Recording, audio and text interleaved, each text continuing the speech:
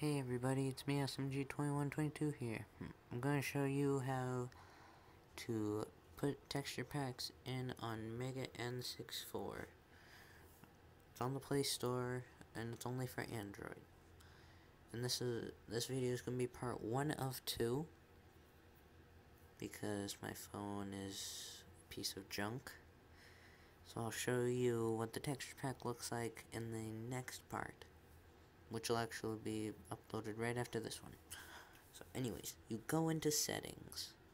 You go to where it says plugins. Tap on that. You choose video. Then you go right here where it says Rice Video 6.10.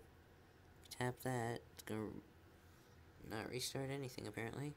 And you go to graphic settings. If you already have a texture pack downloaded, you might want to do this first you might want to do this first. So you go all the way to the bottom where it says high resolution textures. You make sure that's checked off. I have already done that.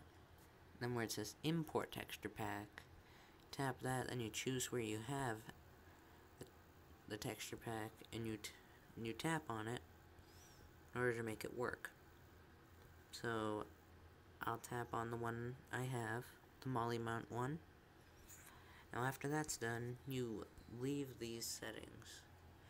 You choose the game you want, and it should work. Plus, the texture pack varies on what the game is called, so make sure you have the right one downloaded. The one I chose was for Super Mario 64. So, I'll show you what it looks like in my net my part 2 video, which will not be very long. I'll only be getting 2 stars. So, please leave a like, share, and subscribe. See you in part 2. Bye-bye.